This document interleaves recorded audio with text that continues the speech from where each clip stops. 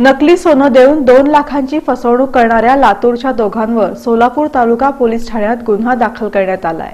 याबाबत उमेश पांडुरंग जाधव वय सत्तावीस राहणार मार्डी तालुका उत्तर सोलापूर यांच्या फिर्यादीवरून सोनाली रमेश बेडले आणि मारुती श्रीमंत सगर राहणार गवंडी गल्ली देवणी लातूर यांच्याविरुद्ध गुन्हा दाखल करण्यात आला. सोनाली बेडणे आणि मारुती सगर या दोघांनी पैशाची अडचण असल्याचं सांगून उमेश जाधव यांच्याकडून एकोणतीस एप्रिल दोन हजार एकोणीस ते अठरा मे दोन हजार एकोणीस या कालावधीत वेळोवेळी दोन लाख रुपये नेले. हे पैसे नेताना त्यांनी उमेश जाधव यांच्याकडे सोनं ठेवलं होतं. पैसे वारंवार मागून देखील दोघांनी परत न केल्यामुळं उमेश जाधव यांनी त्यांच्याकडील सोनं विकण्यास सराफ बाजार गाठला. त्यावेळी सोनाली आणि मारुती सगर यांनी दिलेलं सोनं हे नकली असल्याचं दिसून आलं.